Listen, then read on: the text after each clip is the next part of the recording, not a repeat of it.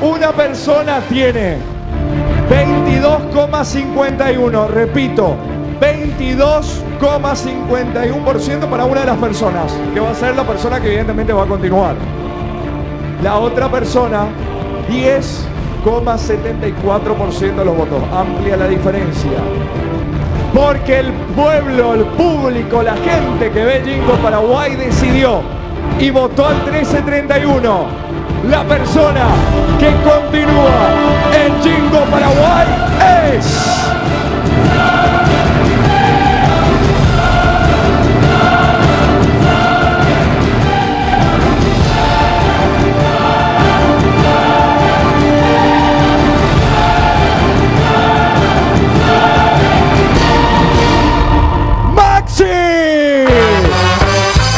Maxi. Sigue en Jingo Paraguay. Continúa en esta segunda temporada.